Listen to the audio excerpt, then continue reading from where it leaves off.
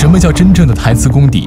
这是中国机长的原型事件，刘传健机长的迫降录音。在电影中，张涵予竟将其一比一复刻。成都，成都，深圳的八六三三。成都，成都，四川八六三三。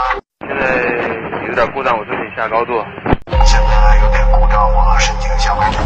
下八幺四，我要返航了，我现在风挡裂了。下八幺四，我要返航了，现在风挡裂了。哎，对的。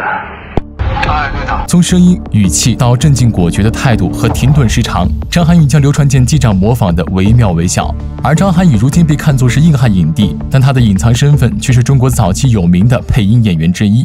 在我们不知道的情况下，张涵予的声音几乎贯穿了每个八零九零后的童年。唐老鸭前十集都是我配的，哦，孙悟空也是，我是配的那个动画片那个小猴子。柠檬水，爆米花，哎，走开，一边去，一边去，让我走，让我走，让我离开这儿。哇哇哇哇哇哇哇！你是克劳夫手下的人吗？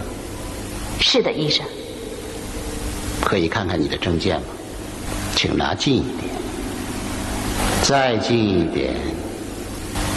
过一个星期就失效了。你不是联邦调查局的。而张涵予之所以会走上配音之路，其实也有段啼笑皆非的经历。在二十世纪六十年代，张涵予投了个极好的胎。他不仅出生在北京大院的干部家庭，一家几口还都是颇有名气的艺术家。张涵予生下来衣食不愁，是当地有名的脾气暴、闯劲儿浓的小刺儿头。八岁那年，他为了效仿徐霞客游记而离家出走。当然我只拿了十块钱，拿了一沓子稿纸，带了杆钢笔，就自己坐上火车仗剑天涯。在走之前，他给父母留信说：“你们不要找我了，我将游遍祖国的名山大川。”之后，张涵予隔三差五说走就走，因此还得了个“离家威龙”的称号。到了中学时，张涵予眼见要朝着不学无术的方向发展，这时他同学却说：“你的声音和追捕里的男演员很像。”张涵予听了喜出望外，因为他从小就善于模仿各种声调，梦想着做配音演员，却总遭到父亲的打压阻挠。得到了同学的认可后，张涵予大胆地给中央电视台发了一段试音，结果这一试却让电视台如获至宝。十几岁的张涵予不仅能给五十多岁的中年人配音，什么奇怪的人物也都信手拈来。花木兰中阴险谄媚的宰相凝是他。可可你封过当朝宰相，那是我呀。八六版《西游记》中的黄眉大王也是他。我是黄眉老佛。张涵予成了有名的配音小王子，在人均工资才几十块的年代，还在上学的他就靠配音赚了三千多块钱，给自己买了辆拉风摩托车。那是八三年。第一批有摩托车的人，我算是。但时间一长，张涵予便厌倦了在幕后工作的日子。而这时，贵人冯小刚走入了张涵予的生活，帮着张涵予一步步走向了武料影帝。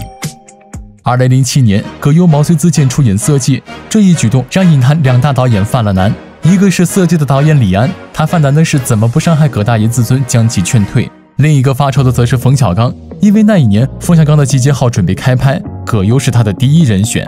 可谁知葛大爷听了坚决不去。要知道，色戒的动作戏也就那几场，但集结号可是在冰天雪地里折腾几十天。葛大爷这把五十岁的老骨头哪儿经得起这么摧残？然而，就在冯小刚为男主角发愁的时候，有一个人却为葛优的辞演暗暗高兴，那就是已经在冯小刚身边潜伏七年的龙套张涵予。早年间，张涵予曾是个配音演员，他虽然毕业于中戏表演系，但在三十六岁才正式进入演艺圈。因为错失了黄金发展期，张涵予一开始只有龙套角色演。当时他混迹在冯小刚身边，演了不少三教九流。没完没了中，他是帮傅彪讨账的社会人。电影《大腕》里，他是指点互联网江山的精神病。在那部捧红了王宝强的《天下无贼》中，他饰演的卧底警察陪刘若英吃烤鸭。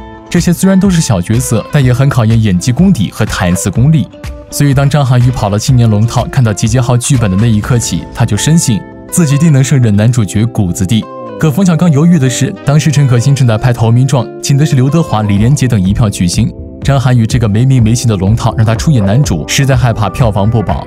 怎奈冯导选了两个多月，就是选不出更适合硬汉军人的男明星。再加上华谊老总王中军也看好张涵予，这才让张涵予成功捡漏。而作为自己的首部主演作品，张涵予对《集结号》十分用心。为了突出瞎掉的右眼，他往眼睛里放了两层隐形眼镜，还在里面夹杂着白纸丝。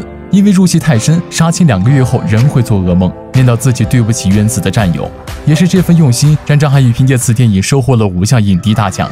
在四十四岁那年，从专业龙套一跃晋升一线影帝。而《集结号》也以二点一亿的票房大获全胜。所以说，在绝对的实力面前，咖位轻如鸿毛。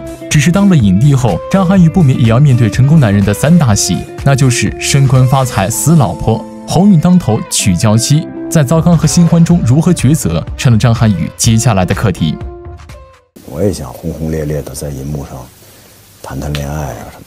有人说，看到张涵予老婆长什么样，就能理解他为什么总求着导演给他加恋爱戏。二零零七年，张涵予凭借《集结号》获封无料影帝，之后所接的角色要么死了老婆，要么是万年光棍。苦哈哈的他，每天都在泥地和雪地里打滚。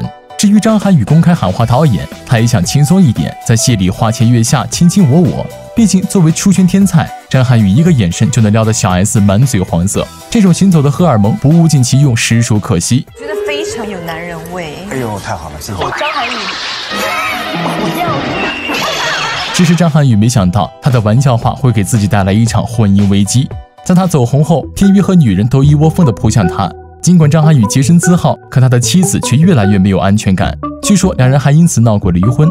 或许是为了向妻子表忠心，二零一四年，张涵予在《智取威虎山》的发布会上，罕见的携老婆杨梅子亮相。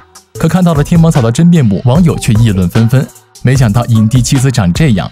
原来张涵予的老婆杨梅子虽曾做过演员，容貌却并非国色天香，甚至有人说，凭借张涵予时至今日的地位，完全可以再娶个十八岁少女。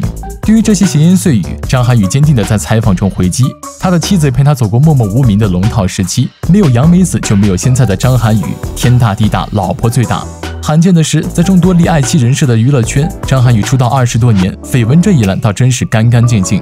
唯一算得上是黑点的，就是两年前有人传言张涵予和小自己十八岁的车晓在洛杉矶私会，只是这则绯闻的爆料者没拿出一张有力证据，而车晓本人也很快辟谣，可能张涵予真的志不在女人。现在的他因为和陈道明组团打高尔夫，已经黑成包公本宫。比起绯闻，看来高尔夫也害人不浅。